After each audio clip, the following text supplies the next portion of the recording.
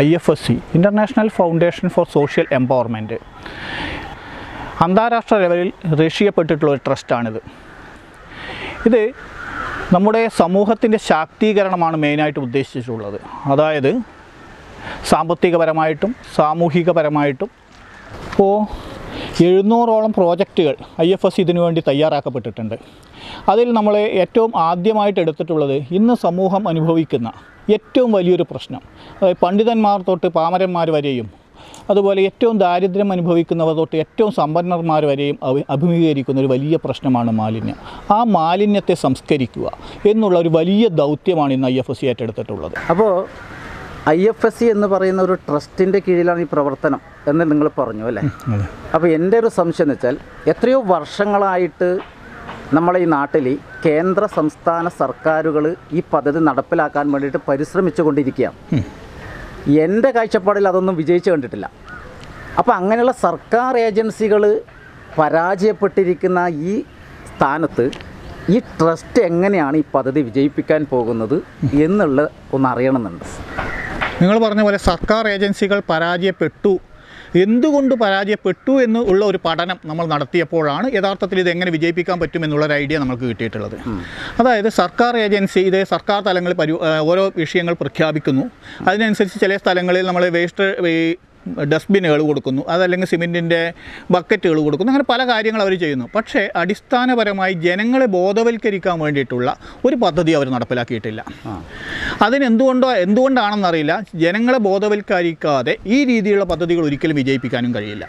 അപ്പോൾ നമ്മൾ ചെയ്യുന്നത് ഓരോ പഞ്ചായത്തിലും പത്തോളം യുവതീ യുവാക്കളെ എടുത്ത് ഇതിന്റെ ഈ മാലിന്യ സംസ്കരണം നടത്തിയാൽ ഭാവിയിൽ ഈ ജനതയ്ക്കുണ്ടാവുന്ന അല്ലെങ്കിൽ ഈ സമൂഹത്തിന് ഉണ്ടാവുന്ന ഗുണങ്ങൾ എന്തൊക്കെയാണ്? അവർ ഇന്ന് അനുഭവിക്കുന്ന പ്രശ്നങ്ങൾക്ക് അത് ഏതൊക്കെ രീതിയിൽ പരിഹാരം കണ്ടെത്താൻ പറ്റും? എന്നുള്ള രീതിയിൽ അവരെക്കുറിച്ച് വ്യക്തമായിട്ടുള്ള അവരൊരു അവബോധം ഉണ്ടാക്കിയതിന് ശേഷമാണ് നമ്മൾ ഈ മാലിന്യ സംസ്കരണ യൂണിറ്റിലേക്ക് കടക്കുന്നത്. അപ്പോൾ നമ്മൾ പറയാതെ തന്നെ സ്വാഭാവികമായിട്ടും നമ്മൾ ഈ മാലിന്യം ഉണ്ടാക്കുന്ന പ്രശ്നങ്ങളെക്കുറിച്ച് നമ്മൾ വളരെ വിശദമായി അവരെ പറഞ്ഞ് പഠിപ്പിക്കുമ്പോൾ നമ്മൾ അറിയാതെ തന്നെ ഇതിനൊരു പരിഹാരം വേണം. നിങ്ങൾ ഈ സംഭവം ഇവിടെ നടപ്പിലാക്കി തരണം. അവർ ഇങ്ങോട്ട് ചോദിക്കുന്ന ഒരു സാഹചര്യം ഉണ്ടാവും. അതാണ് നമ്മുടെ വർക്കിനുള്ള ഒരു രീതി. Okay okay. നമസ്കാരം. നമസ്കാരം. ബാലകൃഷ്ണൻ മാഷ്. നമസ്കാരം. ഐ എഫ് എസ് സിയുടെ കണ്ണൂർ ജില്ലാ കോർഡിനേറ്റർ അല്ലേ? ജില്ലാ കോർഡിനേറ്ററാണ് അതെ. മാഷ്. അപ്പോൾ നമുക്കെല്ലാം കണ്ണൂർ ജില്ലയെ കുറിച്ചിട്ടൊരു ധാരണയുണ്ട്. അപ്പോൾ അങ്ങനെയുള്ള കണ്ണൂർ ജില്ലയിൽ ഈ ഐ എഫ് എസ് സി എന്ന് പറഞ്ഞ ട്രസ്റ്റിന്റെ പ്രവർത്തനവുമായിട്ട് മാഷ് ഈ ജില്ലയിൽ ഇറങ്ങുമ്പോൾ മാഷക്ക് ഉണ്ടായ അനുഭവം എന്തൊക്കെയാണ്? ഐ എഫ് എസ് സിയുടെ ജില്ലാ കോർഡിനേറ്റർ എന്ന നിലയിൽ എനിക്ക് വളരെ പോസിറ്റീവായ അനുഭവങ്ങളാണ് കണ്ണൂർ ജില്ലയിൽ നിന്ന് കിട്ടിക്കൊണ്ടിരിക്കുന്നത്. ഏതാണ്ട് നൂറ്റി അൻപതോളം ഗ്രാമസേവികമാർ അൻപതോളം പഞ്ചായത്ത് കോർഡിനേറ്റർമാരും ഇപ്പോൾ ഐ എഫ് എസ് സിക്ക് വേണ്ടി കണ്ണൂർ ജില്ലയിൽ ആകമാനം പ്രവർത്തിച്ചുകൊണ്ടിരിക്കുകയാണ്. ഒരു പ്രത്യേകത നിങ്ങൾ ശ്രദ്ധിക്കേണ്ടത് ഇപ്പം നേരത്തെ ഇവിടെ സൂചിപ്പിച്ചതുപോലെ ഈ ജനങ്ങൾക്ക് ഇതിനെക്കുറിച്ച് അവബോധമില്ല എന്നുള്ളതാണ് ഒരു ഒരു പ്രധാന പ്രശ്നം. അതോടൊപ്പം തന്നെ സർക്കാരുകൾ സ്ഥാപിക്കുന്ന ഈ ബയോബിന്നും അതുപോലെയുള്ള പരിപാടി പൈപ്പ് കമ്പോസ്റ്റും ഒക്കെ ഫലപ്രദമല്ല. ഈ സർക്കാർ നൽകുന്ന ബയോ കമ്പോസ്റ്റും അതുപോലെ പൈപ്പ് കമ്പോസ്റ്റൊന്നും അത്ര വിജയകരമല്ല. കാരണം അതിൽ നിന്ന് ദുർഗന്ധം വരുന്നു. അതിനാവശ്യത്തിന് ഉള്ള ഇനോക്കുലം ബാക്ടീരിയോ മറ്റോ ഉപയോഗിക്കപ്പെടുന്നില്ല. അതിന് മെയിന്റനൻസ് ഇല്ല. അതുകൊണ്ട് ദുർഗന്ധം മൂലം ജനങ്ങൾക്കത് ഒഴിവാക്കേണ്ടി വരുന്നു. അപ്പം ഇങ്ങനെയൊരു പ്രശ്നമാണ് ഞങ്ങളുടെ പ്രവർത്തകർ ഗ്രാമസേവികമാർ വീടുകളിലെത്തുമ്പോൾ അവരുന്നയിക്കുന്നത്. എന്നാൽ അതിനൊരു പരിഹാരമെന്ന നിലയിൽ ഞങ്ങളിത് നിർദ്ദേശിക്കുന്ന സമയത്ത് ജനങ്ങൾ സർവാത്മന അത് സ്വീകരിക്കുന്നു. ഞങ്ങളുടെ പ്രവർത്തകർ അതിനെക്കുറിച്ച് വ്യക്തമായ കാഴ്ചപ്പാട് നൽകുമ്പോൾ ജനങ്ങളത് സ്വീകരിക്കാൻ തയ്യാറാവുന്നത് കൊണ്ട് തന്നെ എല്ലായിടത്തും ഇതിന്റെ പ്രവർത്തനം വ്യാപിപ്പിച്ചുകൊണ്ടിരിക്കുകയാണ്. വ്യാപകമായി കണ്ണൂർ ജില്ലയിലെ എല്ലാ ഗ്രാമങ്ങളിലും ഞങ്ങൾക്ക് പ്രതീക്ഷിക്കുന്നതിനപ്പുറമുള്ള ഒരു ഒരു സ്വീകരണമാണ് ലഭിച്ചുകൊണ്ടിരിക്കുന്നത്. മാത്രമല്ല നിരന്തരമായി ഞങ്ങളുടെ ഗ്രാമസേവികമാരെ വിളിച്ചുകൊണ്ടിരിക്കുകയാണ്. ഈ പദ്ധതി അവരുടെ വീടുകളിൽ നടപ്പാക്കുന്നതിന് വേണ്ടിയിട്ട്. അപ്പോൾ ആ അർത്ഥത്തിൽ ഞങ്ങൾ വളരെ പോസിറ്റീവായിട്ടാണ് ഇത് കാണുന്നത്. അധികം താമസിയാതെ കണ്ണൂർ ജില്ലയിലെ എല്ലാ മേഖലകളിലും എല്ലാ ഗ്രാമങ്ങളിലും നൂറുകണക്കിന് വീടുകളിൽ ഇത് സ്ഥാപിച്ച് ഞങ്ങളുടെ ഗ്രാമസേവികമാർക്ക് മുന്നോട്ട് പോകാൻ കഴിയും എന്ന് തന്നെയാണ് ഞങ്ങൾ പ്രതീക്ഷിക്കുന്നത്. മാഷേ ഒരു സംശയം കൂടി ഉണ്ട് എനിക്ക്. പറഞ്ഞോളൂ. അപ്പോൾ നമ്മുടെ സർക്കാർ ഏജൻസികൾ ഈ മാലിന്യത്തെ സംസ്കരിച്ചിട്ട് വളമാക്കുന്ന ഒരു പ്രക്രിയ നടന്നുകൊണ്ടേയിരിക്കുന്നുണ്ട്. അതെ.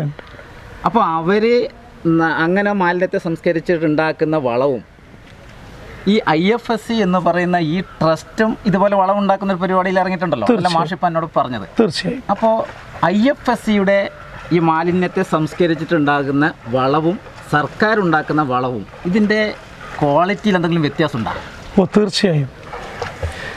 ഐ എഫ് എസ് സി ഉണ്ടാക്കുന്ന വളത്തിന്റെ ഗുണമേന്മ എന്ന് പറയുന്നത് അപ്പോൾ സർക്കാർ ഉൽപ്പാദിപ്പിക്കുന്ന വളം. അത് നല്ല കാര്യമാണ് അവർ ചെയ്യുന്നത്. അതുപോലെ നമ്മൾ ചെയ്യുന്നത് എന്താണ്? ബയോ കൾച്ചർ ബാക്ടീരിയ ഉപയോഗിച്ചിട്ടാണ് നമ്മൾ ഇത് ചെയ്യുന്നത്. അപ്പോൾ നമ്മൾ ഈ കൊടുക്കുന്ന വേസ്റ്റ് റിഡർ ഉണ്ടല്ലോ. ആ റിഡറിൽ ധാരാളം ജൈവിക അണുക്കൾ നമ്മൾ കൊടുത്ത് കൊടുക്കുന്നുണ്ട്. അത് ഉപയോഗിച്ചിട്ടാണ് നമ്മൾ ഈ വളം ഉൽപ്പാദിപ്പിക്കുന്നത്. അതുകൊണ്ട് തന്നെ നമ്മുടെ ഈ മെനുവറിൽ ധാരാളം ജീവ അണുക്കൾ കിടക്കുന്നുണ്ട്. ഈ ജൈവവളത്തിൽ ജൈവവളത്തിൽ ധാരാളമായിട്ടുണ്ട്. അതായത് ഓരോ നുള്ളു ജൈവവളം എടുത്താൽ പോലും ലക്ഷക്കണക്കിന് ജീവാണുക്കൾ ഉൽപ്പാദിപ്പിക്കുന്ന തരത്തിലുള്ളതാണ് നമ്മുടെ ജൈവവളം. അത് നമ്മുടെ മണ്ണിനെ അടക്കം സംസ്കരിക്കാനും അല്ലെങ്കിൽ മണ്ണിനെ ഈ സ്വാഭാവികമായ ഘടന തിരിച്ചു കൊണ്ടുവരും. ഇന്നിപ്പോൾ നമുക്ക് മണ്ണിന്റെ ജൈവഘടന നഷ്ടപ്പെട്ടു നമ്മുടെ മണ്ണിന്റെ ആ ഒരു മോശപ്പെട്ട ഘടന മാറും. മാറിയെടുക്കും. ഇപ്പോൾ നമുക്ക് നോക്കിയാൽ മണ്ണിൽ മണ്ണിര ഇല്ലാതായി അങ്ങനെ ഒന്നുമില്ലാതെ ഒരു ഒരു പ്രത്യേക ഒരു സാഹചര്യത്തിലൂടെയാണ് നമ്മൾ കടന്നു പോകുന്നത് അപ്പോൾ നമ്മുടെ മണ്ണിന്റെ ആ സ്വാഭാവികമായ ആ ഘടനയെ തിരിച്ചു കൊണ്ടുവരുവാൻ നമ്മുടെ ഈ മെന്നൂറിന് സാധിക്കും. കൂട്ടത്തിൽ നമ്മുടെ ഈ വളം ഉൽപ്പാദിപ്പിക്കപ്പെടുമ്പോൾ അതിൽ നിന്നും ഉണ്ടാകുന്ന സ്ലെറി ഉണ്ട്. ആ സ്ലെറിയും അതാണ് വളരെ- അതാണ് വളരെ പ്രധാനപ്പെട്ട കാര്യം. എന്ന് പറഞ്ഞാൽ ആ ഒരു ദ്രാവകം അതിൽ നിന്നും അത് നമ്മുടെ ഈ ഈ റിഡറിന്റെ പ്രവർത്തനം മൂലം അതിലത്തെ നമ്മുടെ ഈ വേസ്റ്റ് സംസ്കരിക്കപ്പെടുകയാണ് ചെയ്യുന്നത്. അതിൽ പ്രത്യേക ഒരു അത് ഇതിൽ നിന്നും ഈ അണുക്കൾ വിഘടിക്കപ്പെടുമ്പോൾ ഉണ്ടാകുന്ന പ്രത്യേക ഒരു ഊഷ്മാവുണ്ട്. ആ. ഊഷ്മാവും ഈ അണുക്കളുടെ പ്ര ഈ പ്രവർത്തനവും മൂലം അതിലുണ്ടാകുന്ന ഈ വേസ്റ്റുകൾ സംസ്കരിക്കപ്പെടുന്നു. സംസ്കരിക്കപ്പെടുമ്പോൾ അതിൽ നിന്നും ഉൽപ്പാദിപ്പിക്കപ്പെടുന്ന ഒരു ദ്രാവകം. അത് നമ്മൾ ഒരു ഒരു വലിയ ഒരു ടെക്നിക്കാണ്. വളരെ ഉയർന്ന ഗുണമേന്മയുള്ള ഒരു ജൈവ കീടനാശിനിയാണ് ഈ സ്ലറി. അതാണ് ഇതിന്റെ ഒരു വളരെ പ്രധാനപ്പെട്ട ഇത് ഈ ഈ സാധനം കീടനാശിനിയായിട്ട് ഉപയോഗിക്കും തീർച്ചയായിട്ടും. ഇത് ഈ സ്ലെറി എന്ന് പറയുന്നത് നല്ലൊരു ആൽക്കഹോൾ കണ്ടന്റ് ഉള്ളതാണ്. അതാണല്ലോ നമുക്ക് കീടനാശിനിയായി ഉപയോഗിക്കാൻ സാധിക്കുന്നത്. നമ്മുടെ വീടുകളിൽ ഉപയോഗിക്കുന്ന പഴം പച്ചക്കറി നിങ്ങൾക്കറിയാലോ ഈ ഈ ആൽക്കഹോൾ ഉണ്ടാക്കുന്നത്? ഫ്രൂട്ട്സ് അതെ അതെ. അപ്പോൾ സ്വാഭാവികമായും നമ്മുടെ വീട്ടിൽ ഉപയോഗിക്കുന്ന പച്ചക്കറിയും പഴങ്ങളും ഒക്കെ ചീഞ്ഞ് അത് ഈ ഇത് ഉപയോഗിച്ചിട്ടാണല്ലോ ഇത് മാറി വരുന്നത്. ആ സ്ലറി തീർച്ചയായിട്ടും നല്ലൊരു കീടനാശിനിയായി നമുക്ക് ഉപയോഗിക്കാൻ സാധിക്കുന്നു. വളരെ നല്ലൊരു കീടനാശിനിയാണിത്. അത് നമ്മൾ ആ സ്ലറി എന്ന് പറഞ്ഞാൽ അതിന് വളരെ വീര്യം കൂടിയതുമാണത്. വെച്ചാൽ നമ്മൾ നേരത്തെ മാഷ് പറഞ്ഞതുപോലെ അതിൽ ആൽക്കഹോൾ കണ്ടന്റ് ഉണ്ട് അതുപോലെ അതിലും ജീവാണുക്കളുണ്ട്. അപ്പോൾ അതിൽ നിന്ന് ഉൽപ്പാദിപ്പിക്കുന്ന അത് വളരെ പിന്നെ ശക്തി കൂടിയതായതുകൊണ്ട് നമ്മൾ നേരിട്ട് ഉപയോഗിക്കാനും പാടില്ല. നമ്മൾ ഡയലൂട്ട് ചെയ്തിട്ട് ഉപയോഗിക്കാൻ പാടുള്ളൂ ഓ അങ്ങനെ ഈ ചാണകവും ഗോമൂത്രവും ചേർന്ന ഒരു മിശ്രിതത്തെയാണ് പൊതുവെ സ്ലറി എന്ന് പറയുന്നത്. അപ്പം നമ്മുടെ ഈ ഈ വളത്തിൽ നിന്ന് വരുന്ന ഈ ദ്രാവകം അതിനേക്കാൾ ഗുണമേന്മയുള്ളതാണ്. അതുകൊണ്ടാണ് അത് അതിൽ ഈ ജീവാണുക്കളുടെ എണ്ണം വളരെ വളരെ കൂടുതലാണ്. നമ്മളിപ്പോൾ ഈ സ്ലറി വെച്ച് നോക്കിയാൽ ചാണകവും ഗോമൂത്രവും ചേർന്ന മിശ്രിതം വെച്ച് നോക്കിയാൽ അതിനേക്കാൾ വളരെ കൂടുതലാണ് ഇതിനകത്തുള്ള ജീവാണുക്കളുടെ എണ്ണം. അതുകൊണ്ട് തന്നെ അതോടൊപ്പം ഇതിനകത്തുള്ള ഈ ആൽക്കഹോളിക് കണ്ടന്റും അത് അത് അതിനാലാണിത് ഏറ്റവും നല്ലൊരു കീടനാശിനിയാണ് ജൈവ കീടനാശിനിയാണ് എന്ന് പറയുന്നത്. ഇത് കീടനാശിനി എന്ന് പറയുമ്പോൾ നമ്മളെ ഇന്നുള്ള നമ്മുടെ എല്ലാ പച്ചക്കറികൾക്കും നമ്മുടെ മറ്റെല്ലാ കൃഷികൾക്കും ഇത് കീടനാശിനിയായിട്ട് ഉപയോഗിക്കാൻ പറ്റുമോ നമ്മൾ ഇന്ന് ഉപയോഗിക്കുന്ന ഏത് തരം കീടനാശിനിയോടും കിടപിടിക്കാൻ എന്നല്ല. അതിനേക്കാളൊക്കെ എത്രയോ ശക്തിയുള്ള നല്ലൊരു കീടനാശിനിയാണിത്. ഈ മാത്രമല്ല ഇത് നമ്മൾ ഇന്ന് മറ്റ് കീടനാശിനി ഉപയോഗിച്ച് ഉപയോഗിച്ചാൽ അത് ശരീരത്തിന് ഹാനികരമാണ്. ഇന്ന് നമ്മൾ അനുഭവിക്കുന്ന പല രോഗങ്ങളും ഇപ്പോൾ ക്യാൻസർ തുടങ്ങിയ പല രോഗങ്ങൾക്കും ആധുനിക ശാസ്ത്രം പറയുന്നത് ഈ നമ്മൾ ഉപയോഗിക്കുന്ന രാസവളങ്ങൾ അതുപോലെ കീടനാശിനികളാണ്. കാരണം എന്ന് പറയുന്നു. അപ്പോൾ നമ്മുടെ ഈ സ്ലറി ഉപയോഗിച്ച് കഴിഞ്ഞാൽ അതിനും വലിയൊരു പരിഹാരമായി അപ്പോൾ ഇത് ജൈവികമായിട്ട് കിട്ടുന്ന കീടനാശിനി ആയതുകൊണ്ട് അത്തരം പ്രോബ്ലങ്ങൾ ഉണ്ടാവൂല. ഇല്ല ഉണ്ടാവില്ല. ഉണ്ടാവില്ല. മാത്രമല്ല നോക്കൂ ഇത് ചെടികൾക്ക് എന്ന് പറയുമ്പോൾ പച്ചക്കറികളും മാത്രമല്ല നമ്മുടെ വീട്ടിൽ നട്ടു വളർത്തുന്ന ചെടികൾക്കും ഈ ഇലയുടെ അടിയിൽ അത് തൂകി കൊടുത്താൽ എല്ലാതരം കീടങ്ങളും ഇല്ലാതാക്കി കളയും. അതുപോലെ ഈ ഉറുമ്പ് വീടിന് ചുറ്റും ഉണ്ടാകുന്ന ഉറുമ്പ് അങ്ങനെയുള്ള കൊതുകിനെ നിർമ്മാർജനം ചെയ്യാൻ ഇതിനൊക്കെ പറ്റും? ഒക്കെ പറ്റും. മാത്രമല്ല ഇതേ സ്ലറി നമുക്ക് വളമായി ഉപയോഗിക്കാൻ സാധിക്കും. പക്ഷെ അപ്പോൾ ഈ കീടനാശിനി വളമായിട്ട് ഉപയോഗിക്കാന്ന് മാഷ് പറഞ്ഞു. അതെനിക്ക് മനസ്സിലായില്ല. തീർച്ചയായും. ഇതൊരു നല്ല ഇമ്മ്യൂണോ ബൂസ്റ്ററാണ് ഇപ്പോൾ നോക്കൂ നമ്മുടെ ശരീരത്തിൽ രോഗങ്ങൾ ഉണ്ടാകുന്ന സമയത്ത് നമ്മൾ വാക്സിൻ ചെയ്ത് ശരീരത്തിൽ തന്നെ ഈ വൈറസിനെയൊക്കെ പ്രതിരോധിക്കാനുള്ള ശേഷി ശരീരത്തിന് വളർത്തിയെടുക്കുകയാണ് ചെയ്യുന്നത്. ഇതേ രീതിയിൽ ഒരു ഇമ്മ്യൂണോ ബൂസ്റ്ററായ ഈ സ്ലെറി നമ്മൾ ചെടിക്ക് ഒഴിച്ചു കൊടുത്താൽ ചെടി ചെടിയിൽ ഇമ്മ്യൂണോ ബൂസ്റ്ററായി ഇത് പ്രവർത്തിക്കുകയും ഇത് രോഗപ്രതിരോധ ശേഷി കീടങ്ങളെ നേരിടാനുള്ള ഈ സ്ലെറി ഒരു വാക്സിൻ ആയിട്ട് മാറും. മാറും. അങ്ങനെ അങ്ങനെ ഉപയോഗിക്കാൻ സാധിക്കും എന്നുള്ളതാണ് ഇതിന്റെ മറ്റൊരു പ്രത്യേകത. ഇപ്പൊ പക്ഷേ ഒരു ചോദ്യം കൂടി ചോദിക്കാം.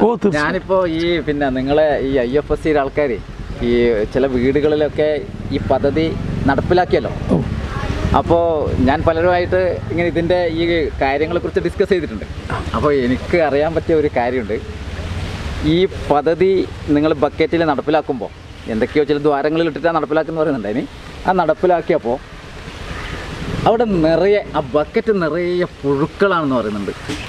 തീർച്ചയായും. എന്താണ് ഈ പുഴുക്കൾ പുഴുക്കളും നിങ്ങളുടെ ഈ പുഴുക്കൾ വേസ്റ്റിൽ വരുന്നത് എന്താണ്? ഇത് നല്ല കാര്യത്തിനാണോ മോശം കാര്യത്തിനാണോ? അത് എന്താണ് പുഴുക്കളുടെ സാന്നിധ്യം ഉണ്ടാകാൻ കാരണം? അതെനിക്ക് മനസ്സിലായിട്ടുള്ളത്. തീർച്ചയായും. ഈ പുഴുക്കൾ ആ, അതിന് അതിന് പ്രകൃതിയുടെ ഭാഗമാണ് അതെ. അതൊരു ഇക്കോ സിസ്റ്റമാണ് നമ്മളിവിടെ ക്രിയേറ്റ് ചെയ്യപ്പെടുന്നത്. ആ ബക്കറ്റിന്റെ ഉള്ളിൽ ഒരു പ്രകൃതിയുടെ അതായത് ഒരു സംസ്കരണ വിഭാഗമാണ് നമ്മൾ ക്രിയേറ്റ് ചെയ്യപ്പെടുന്നത്. അത് പ്രകൃതിയുടെ ഭാഗമാണ്. പലതരം ജീവജാലങ്ങൾ ഉണ്ടാകുന്ന പോലെ ഈ രീതി ഈ പുഴു ഈ സംസ്കരണ പദ്ധതിയുടെ ഒരു ഭാഗമാണ് ഈ പുഴുക്കൾ. ഈ പുഴുക്കളാണ് ശരിക്ക് അവർ ഈ ഇതിലുണ്ടാവുന്ന ഈ വേസ്റ്റിലുണ്ടാവുന്ന പിന്നെ എല്ലിന്റെതായാലും അതായത് മാംസാദികൾ ഉണ്ടാവാം അതുപോലെ പച്ചക്കറികളുടെ ഇതിൽ നിന്നൊക്കെ ഉണ്ടാവുന്ന അതിന്റെ ആ ദ്രാവകങ്ങൾ ഊറ്റി കുടിച്ചുകൊണ്ട് വളരുന്ന ഒരു ജീവികളാണ്. അങ്ങനെ വളരുന്നത് കൊണ്ട് തന്നെ ഇവർ ഏറ്റവും കൂടുതൽ പ്രോട്ടീൻ കണ്ടന്റുള്ള ഒരു വിഭാഗമാണ്. പുഴുക്കൾ? പുഴുക്കൾ പുഴുക്കൾ പുഴുക്കൾ. അല്ല പൊതുവെ പുഴുക്കളിൽ പ്രോട്ടീൻ കണ്ടന്റ് കൂടുതലാണ്. ഇത് വളരെയധികം കൂടുതലുള്ളതാണ്. അതുകൊണ്ട് തന്നെ എന്ത് സംഭവിക്കുന്നു വെച്ചാൽ നമ്മൾ ഈ വളം ഈ ജലാംശം എപ്പോൾ കുറയുന്നോ അപ്പോൾ ഈ പുഴുക്കൾ സ്വാഭാവികമായിട്ടും മരിക്കും. ഇല്ലാതായി പോകും അപ്പോൾ ഈ ഇതിൽ ഉണ്ടാവുന്ന പ്രോട്ടീൻ മുഴുവൻ ഈ വളത്തിലേക്ക് അപ്പോൾ സന്നിവേശിക്കപ്പെടും. Okay okay. അപ്പോൾ അങ്ങനെ വരുമ്പോൾ നമ്മുടെ ജീവാണുക്കളുടെ വലിയൊരു കലവറയാണ് നമ്മുടെ വളം. അതിന് പുറമെ ഇവ ചത്തു വരുമ്പോൾ ഉണ്ടാകുന്ന ഈ പ്രോട്ടീനിന്റെ അംശവും ഈ വളത്തെ കൂടുതൽ ഗുണകരമാക്കി മാറ്റുന്നു. അപ്പോൾ ഒരു ഈ പ്രോട്ടീന്റെ അംശം വളത്തിൽ പിന്നെ കൂടുതൽ ഉണ്ടാകുമ്പം നമ്മുടെ വളത്തിന് ആ വളം കൊണ്ട് നമുക്ക് എന്തെങ്കിലും തീർച്ചയായും. അത് പ്രോട്ടീൻ കണ്ടന്റ് കൂടുതലുള്ളത് വളത്തിന്റെ ഗുണമേന്മ വർദ്ധിപ്പിക്കും. കാരണം ചെടികൾക്ക് ആവശ്യമുള്ള ഈ മൂലകങ്ങളുണ്ടല്ലോ. അത് ഇതിനകത്ത് ധാരാളമായി അടങ്ങിയിട്ടുണ്ട്. അത് നമ്മെ സംബന്ധിച്ചിടത്തോളം ഇപ്പം നമ്മൾ ഭക്ഷണം കഴിക്കുന്ന സമയത്ത് ഭക്ഷണത്തിൽ നിന്ന് നമുക്ക് കിട്ടുന്ന വൈറ്റമിൻസ് മിനറൽസ് ഇതൊക്കെയാണല്ലോ നമ്മുടെ ശരീരത്തിൽ ഇതുപോലെ തന്നെ ചെടികൾക്കും അത്യാവശ്യമായിട്ടുള്ള മൂലകങ്ങളും അതുപോലെ മിനറൽസും ഒക്കെ ധാരാളമായി നൽകുന്നു. അതിനകത്ത് പ്രോട്ടീൻ ആവശ്യമുള്ള ചെടികൾക്ക് ധാരാളമായി പ്രോട്ടീൻ നൽകുന്നത് ഈ നമ്മുടെ ഈ വളമാണ്. തീർച്ചയായിട്ടും. അങ്ങനെ ചെടികൾ വളരുന്ന സമയത്ത് ആ ചെടികളിൽ ഉണ്ടാവുന്ന കായികനികൾക്ക് നല്ല പ്രോട്ടീൻ വാല്യൂ ഉണ്ടാവുകയും ചെയ്യും. അതുകൊണ്ട് തീർച്ചയായിട്ടും ഈ വളം വളരെയധികം ഗുണകരമാണ് ചെടികൾ നമ്മുടെ അതുപോലെ ചെടികൾ പെട്ടെന്ന് വളരുകയും ചെയ്യും. ചെടികൾ വളരുന്ന മാത്രമല്ല നമ്മൾ ഈ സ്ലെറിയും ഇതും വളവും രണ്ടും മിക്സ് ചെയ്ത് ഉപയോഗിക്കുന്ന സമയത്ത് നമുക്ക് ആ ചെടികൾ കണ്ടാൽ തന്നെ മനസ്സിലാവും. നല്ല തിളക്കമുള്ള നല്ല പുഷ്ടിയുള്ള ചെടികൾ ഉണ്ടാവും. പുഷ്ടികൾ ചെടികൾ എന്ന് പറഞ്ഞു കഴിഞ്ഞാൽ നമുക്ക് അതിന്റെ ഇലയൊക്കെ കണ്ടു കഴിഞ്ഞാൽ മനസ്സിലാവും. ഇലയൊക്കെ ഈ ദ്വാരങ്ങൾ ഈ കീട നമ്മൾ ഈ കീടനാശിനി ഉപയോഗിച്ച് കഴിഞ്ഞാൽ അതിൽ പിന്നെ ദ്വാരങ്ങളൊന്നും ഉണ്ടാവില്ല. വെച്ചാൽ സ്വാഭാവിക നേരത്തെ പറഞ്ഞല്ലോ ഈ ചെടിയെ തന്നെ നമ്മൾ പുഷ്ടിപ്പെടുത്തുക എന്നാൽ ചെടിയെ തന്നെ ഇത്തരത്തിലുള്ള കീടങ്ങളെ നേരിടാൻ വേണ്ടി പ്രാപ്തരാക്കി മാറ്റുകയാണ് അതുകൊണ്ട് തന്നെ ചെടി നല്ല പുഷ്ടിയുള്ളതായിരിക്കും.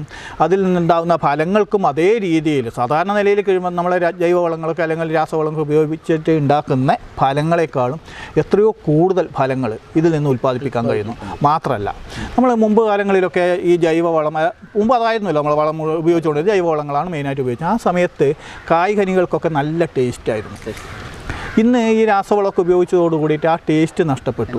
തനിമ തനിമ പോയി. തനിമ. പക്ഷേ ആ തനിമയെ നമുക്ക് പുനഃസൃഷ്ടിക്കാൻ പറ്റുന്നു. ഇതിലുണ്ടാകുന്ന വെണ്ടക്ക അല്ലെങ്കിൽ മറ്റു സാധനങ്ങളൊക്കെ നമ്മൾ കഴിച്ചു കഴിഞ്ഞാൽ നമുക്ക് കഴിച്ചാലും കഴിച്ചാലും അത് മതിയാവില്ല. അത്ര നല്ല ടേസ്റ്റാണ് ആ. ടേസ്റ്റിനെ പോലും നമുക്ക് തിരിച്ചു കൊണ്ടുവരാൻ കഴിയുന്നു. അപ്പോൾ ഒരു ചോദ്യം ഉണ്ട് എനിക്ക് ചോദ്യമല്ല.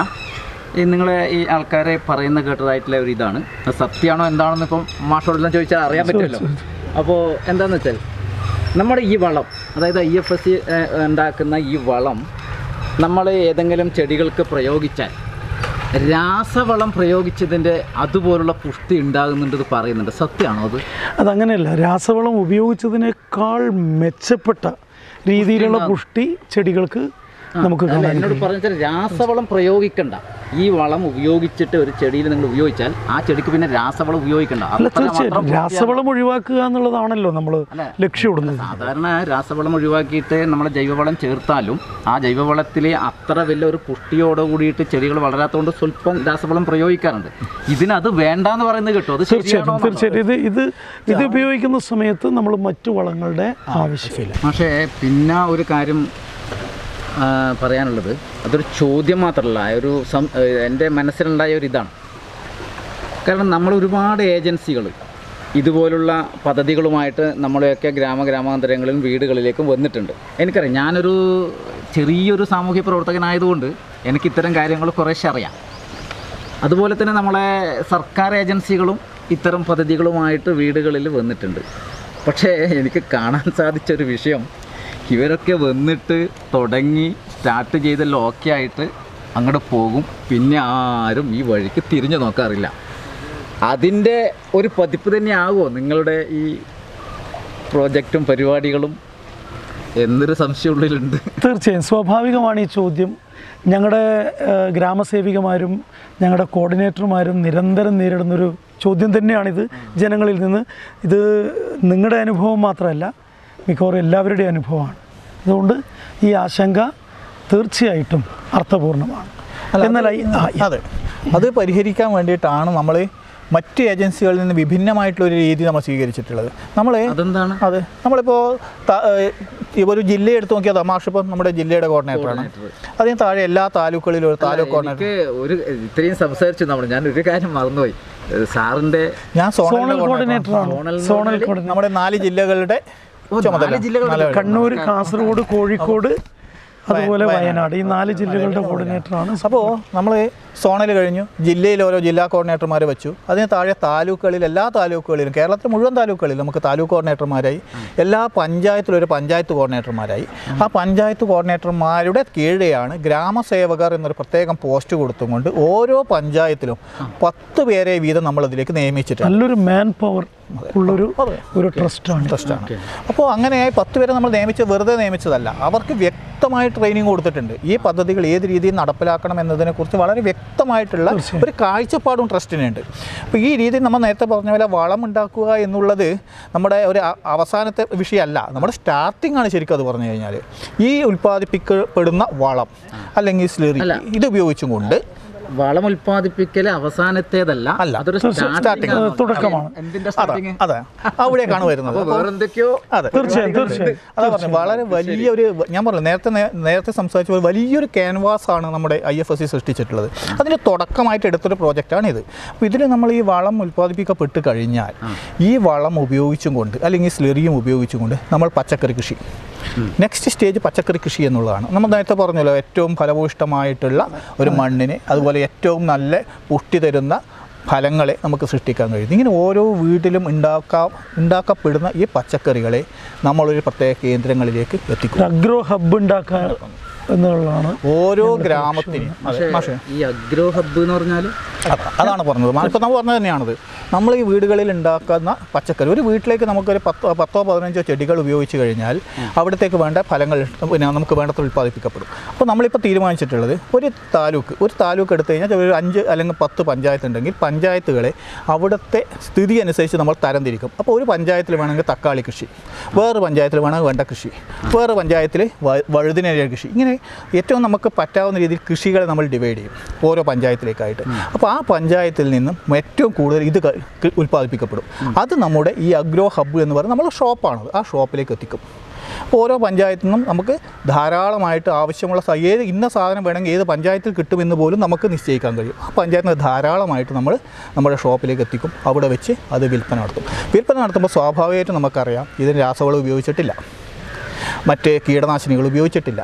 അപ്പോൾ ഇന്ന് കിട്ടുന്ന വിലയേക്കാൾ നല്ല രീതിയിൽ ഒരു വിലയും അതുപോലെ നല്ല ഡിമാൻഡും നമ്മൾ ഈ സാധനത്തിൽ ഉണ്ടാവും. ശുദ്ധമായ വിഷരഹിതമായ പച്ചക്കറികളും പഴങ്ങളും ഈ അഗ്രോ ഹബിലൂടെ ജനങ്ങളിലേക്ക് എത്തിക്കുക എന്നുള്ള വലിയൊരു ദൗത്യമാണ് ഏറ്റവും ഒരു ഒരു ഒരു ഉദാത്തമായ ശ്രേഷ്ഠവുമായിട്ടുള്ള ഒരു തീർച്ചയായും തീർച്ചയായും. അതാണ് നമ്മൾ ഉദ്ദേശിച്ചത്. ഓക്കെ ശരി. പക്ഷേ ഒരുപാട് കാര്യങ്ങൾ മാഷ പറഞ്ഞു തന്നു. സാറും പറഞ്ഞു തന്നു. നല്ല കാര്യങ്ങളാണ്. പക്ഷേ ഒരു ആശങ്കയുണ്ട് എനിക്ക്. അതെന്താണെന്ന് വെച്ചാൽ നമ്മുടെ ഈ നാട്ടിൽ നമ്മുടെ കേരളത്തിൽ ഒരുപാട് പ്രശ്നങ്ങളുള്ളതാണ് നമ്മുടെ ഭൂമിശാസ്ത്രപരമായിട്ടൊക്കെ. അപ്പോൾ അങ്ങനെയൊക്കെ വെച്ച് നോക്കുമ്പോൾ ഈ ജൈവ കൃഷി സമ്പ്രദായങ്ങൾ ഇതിനു മുൻപിലും പല ഏജൻസികളും നടത്തിയിട്ടുണ്ട്. പല ഗ്രൂപ്പുകൾ കുടുംബശ്രീ അങ്ങനെ തുടങ്ങി പല ഗ്രൂപ്പുകൾ സർക്കാർ അല്ലാത്തവർ ഒക്കെ നടത്തിയിട്ടുണ്ട്. അതിനൊന്നും പിന്നീട് ഒരു തുടർച്ച കണ്ടിട്ടില്ല. ഒരു നിശ്ചിത സമയ കാലത്തെത്തുമ്പം അതൊക്കെ അങ്ങോട്ട് ഇല്ലാണ്ടായി പോവുകയാണ്. അപ്പോൾ ഈ ഐ എഫ് എസ് സി എന്ന് പറയുന്ന നിങ്ങളുടെ ഈ ട്രസ്റ്റിന്റെ കീഴിലുള്ള ഈ പദ്ധതിയും ഇതിനും ഒരു ഫുൾ സ്റ്റോപ്പ് വരുമോ? പകുതി കിട്ടിട്ട് അങ്ങോട്ട് പോകുമോ എന്നുള്ളൊരു ആശങ്കയുണ്ട്. ഇത്രയും കേട്ട സ്ഥിതിക്ക് അങ്ങനെ ആകരുത് എന്ന് ഞാൻ പ്രാർത്ഥിക്കുന്നു. എന്നാലും എന്റെ ആശങ്ക ഞാൻ മാഷോട് പങ്കുവയ്ക്കുകയാണ്. തീർച്ചയായും അങ്ങനെ ആവാൻ സാധ്യതയില്ല അല്ലേ? ഇല്ല ഇല്ല. ഇല്ല നമ്മൾ ഞാൻ പറഞ്ഞില്ലേ നമ്മളങ്ങനെ പെട്ടെന്ന് ഉണ്ടാക്കിയ ഒരു തീരുമാനമല്ല ഇത്. വളരെ വിശദമായിട്ടുള്ള കാര്യം. പിന്നെ രണ്ടാമത് നിങ്ങൾ പറഞ്ഞ ആ ഒരു കാര്യത്തിന് നമുക്കറിയാം. അല്ല മാഷേ ഇത് ഈ ജൈവിക കൃഷി നിൽക്കാനുള്ള കാരണം എന്താണ്? എന്ന് വെച്ചാൽ യഥാർത്ഥമായി ജൈവവളങ്ങൾ കിട്ടാനില്ല. രണ്ട് നമ്മുടെ മുമ്പൊക്കെ നോക്കിക്കഴിഞ്ഞാൽ ധാരാളം ഈ- ഈ കന്നുകാലികൾ ഇത് ഇഷ്ടം പോലെ ഉണ്ടായിരുന്നു. കൃഷിസ്ഥലങ്ങൾ ധാരാളം ഉണ്ടായിരുന്നു. കന്നുകാലികളുടെ ഇന്നിപ്പോൾ അതില്ല വളരെയധികം ഒരു മൂന്ന് മാസത്തോളം. കന്നുകാലികളെ ഈ പശുക്കളെയൊക്കെ കൃഷിയിടത്ത് കെട്ടി അവിടെ സ്വാഭാവികമായി ജൈവവളം സ്വരൂപിക്കപ്പെടുന്ന ഒരു അന്തരീക്ഷം അവിടെ സൃഷ്ടിക്കാറുണ്ട്. അത് സത്യം തന്നെ മാഷെ ഞാനത് കേട്ടിട്ടുണ്ട്. അങ്ങനെ ഒരു ഒരു സംസ്കാരം നമുക്ക് ഉണ്ടായിട്ടുണ്ട് അത് ശരിയല്ല തീർച്ചയായും തീർച്ചയായിട്ടും. അങ്ങനെയാണ്. അത് നമ്മൾ എങ്കിൽ മാത്രമേ ജൈവ ഈ മണ്ണിനെ ജൈവികമായി സംസ്കരിച്ചതിന് ശേഷമാണ് മുൻകാലങ്ങളിൽ നമ്മളവിടെ കൃഷി ഇറക്കിയിരുന്നത്. അപ്പോൾ ഇന്ന് ആ ഒരു സ്വാഭാവികത അല്ലെങ്കിൽ ആ രീതിയിലുള്ള ആ ഒരു സംവിധാനം നമുക്ക് നടപ്പിലാക്കാൻ പറ്റാതായി കഴിഞ്ഞു വെച്ചാൽ ഒന്ന് അവർക്ക് കൊടുക്കാനുള്ള വേണ്ട രീതിയിലുള്ള പുല്ല് കന്നുകാലികളില്ലാണ്ടായി പുല്ലില്ലാതായി. അല്ലെങ്കിൽ പുല്ല് വേണമെങ്കിൽ പുല്ല് കൃത്രിമമായി വളർത്തുന്ന ഒരവസ്ഥ അതിനാണ് രാസവളം ഉപയോഗിക്കുന്ന അവസ്ഥ. അപ്പോൾ അതിന് യഥാർത്ഥ ആ ഒരു സ്വാഭാവികത ഇല്ലാതായി. അപ്പോൾ നമ്മുടെ സംബന്ധിച്ചിടത്തോളം ഇതിൽ ഉൽപ്പാദിപ്പിക്കപ്പെടുന്ന വളം ഏറ്റവും സംശുദ്ധമാണ് ഏറ്റവും ജീവാണുക്കളുള്ളതാണ്. ഈ ഇവ ഉപയോഗിച്ചും കൊണ്ട് നമ്മൾ ഈ മണ്ണിനെ സംസ്കരിച്ച് നല്ല ജീവാണുക്കളുള്ള ഒരു സ്ഥലമാക്കി മാറ്റിയെടുക്കുകയാണ്. അപ്പോൾ നിങ്ങളെ സംബന്ധിച്ചിടത്തോളം നിങ്ങൾക്ക് ജൈവ ജൈവവളത്തിന്റെതായിട്ടുള്ള ഒരു ദൗർലഭ്യം വരില്ല. ഇല്ല നോക്കൂ ജൈവ കൃഷി നശിച്ചു പോകുന്നത് എന്തുകൊണ്ടാണ് ജൈവ വളങ്ങൾ വേണ്ടത്ര ലഭിക്കാത്തതുകൊണ്ടാണ് അപ്പോൾ ആൾക്കാർ എന്ത് ചെയ്യും? ആൾക്കാർ രാസവളങ്ങൾ ഉപയോഗിക്കും. രാസവളങ്ങളും രാസ കീടനാശിനികളും ഉപയോഗിക്കുമ്പോൾ സ്വാഭാവികമായും മണ്ണിന്റെ ഗുണമേന്മ നഷ്ടപ്പെടുന്നു അങ്ങനെ ജീവാണുക്കളും നശിച്ചു പോകുന്നു. ജീവാണു നശിച്ചു പോകുമ്പോൾ അവിടെ കീടാണു വർദ്ധിക്കുന്നു. അങ്ങനെ വരുന്ന സമയത്ത് കൂടുതൽ കൂടുതൽ നമ്മൾ ഈ ജീവാണുക്കൾ നശിച്ചു പോകുന്ന സമയത്ത് കീടാണുക്കൾ. വർദ്ധിക്കുന്നു ആ സമയത്ത് നമ്മൾ കൂടുതൽ കൂടുതൽ ഈ രാസകീടനാശിനികൾ ഉപയോഗിക്കേണ്ടി വരുന്നത്. അപ്പോൾ അതിനൊരു പരിഹാരം എന്ന നിലയിലാണ് മണ്ണിന്റെ ഗുണമേന്മ വർദ്ധിപ്പിക്കാൻ വേണ്ടിയിട്ട് നമ്മൾ ജീവാണുക്കൾ ചെയ്യുന്നത് അല്ലേ? അതെ, ജീവാണുക്കളെയാണ് നമ്മൾ ഇറക്കി വരുന്നത്. അപ്പോൾ ജീവാണുക്കൾ വർദ്ധിക്കുമ്പോൾ സ്വാഭാവികമായിട്ട് എന്ത് സംഭവിക്കും? കീടാണുക്കൾ ഇല്ലാതാവും. കീടാണുക്കൾ ഇല്ലാതാവുമ്പോൾ നമ്മൾ കീടനാശിനികളെ ആശ്രയിക്കേണ്ട ആവശ്യം വരുന്നില്ല. മാത്രമല്ല അഥവാ കീടനാശിനി വന്നാൽ അവയെ ഓടിക്കാൻ നമ്മുടെ ഇൻവെസ്റ്ററി ഉണ്ട്. ചുരുക്കി പറഞ്ഞാൽ ഈ പ്രോസസ്സിങ് ഇങ്ങനെ നടന്നു പോയാൽ നമ്മൾ പഴയ കാലഘട്ടത്തിലേക്ക് നമ്മൾ തിരിച്ചു പോകും. തീർച്ചയായും. ജൈവ കൃഷി എന്ന മഹത്തായ ആശയം നമ്മുടെ ഗ്രാമങ്ങളിൽ എത്തിക്കാൻ ഐ എഫ് എസ് സിക്ക് സാധിക്കും. അത് ലക്ഷ്യമിട്ടുകൊണ്ട് തന്നെയാണ് ഞങ്ങൾ പ്രവർത്തിച്ചുകൊണ്ടിരിക്കുന്നത്. മാഷ മാഷ് പറഞ്ഞു ഈ ഈ പദ്ധതി ഐ എഫ് എസ് സിയുടെ കാര്യങ്ങളൊക്കെ പറഞ്ഞു. കേട്ടപ്പോൾ വളരെ നല്ല വളരെ നല്ല ആവേശകരമായിട്ടുള്ള കാര്യങ്ങളാണ് പറഞ്ഞത്. പക്ഷെ ഒരു സംശയം വരുന്നത് നമ്മളെ നാട്ടിന്റെ പ്രത്യേക ഒരു കാലാവസ്ഥ അന്തരീക്ഷം കാരണം ഈ പദ്ധതികളൊക്കെ ആയിട്ട് ജനങ്ങളിലേക്ക് പോകുമ്പോൾ ജനങ്ങളുടെ ഒരു മനോഗതം എന്താണ്? തീർച്ചയായും. ജനങ്ങൾ ഇതിനെ സർവാത്മന സ്വീകരിക്കുന്നതായിട്ടാണ് ഞങ്ങളുടെ അനുഭവം. കാരണം ഞങ്ങൾ മെമ്പർഷിപ്പ് കൊടുക്കുന്നത് ഐഡിയൽ ഫാമിലി മെമ്പർഷിപ്പാണ്. ഒരു കുടുംബത്തെ മാതൃകാ കുടുംബമാക്കി മാറ്റാനുള്ള ഒരു ലക്ഷ്യത്തോടു കൂടിയാണ്. കേവലം ജൈവവളം സൃഷ്ടിക്കൽ മാത്രമല്ല എന്റെ മാലിന്യം എന്റെ ഉത്തരവാദിത്തമാണ്. എന്റെ മാലിന്യം എന്റെ ഉറവിടത്തിൽ തന്നെ അത് സംസ്കരിക്കുക എന്നുള്ളതാണ്. ഇത്രയും സമയം ഈ ഐ എഫ് എസ് സിയുടെ ജില്ലാ കോർഡിനേറ്റർ ബാലകൃഷ്ണൻ മാസ്റ്ററും അതുപോലെ സോണൽ കോർഡിനേറ്റർ ജയൻ സാറും ഈ ട്രസ്റ്റിന്റെ കീഴിൽ നടക്കാൻ പോകുന്ന പദ്ധതികളെ കുറിച്ചിട്ട് വളരെ മനോഹരമായിട്ട് വിവരിച്ചു തന്നിരിക്കുകയാണ്. അത് കേട്ടപ്പോൾ തന്നെ എന്താ എന്ന് പറയേണ്ട ഒരു ഉള്ളിൽ വല്ലാത്തൊരു ആനന്ദം. ആ ഒരു പഴയ ആ സംസ്കാരത്തിലേക്കും കാര്യത്തിലേക്കും മനസ്സങ്ങോട്ട് പെട്ടെന്ന് പോയി.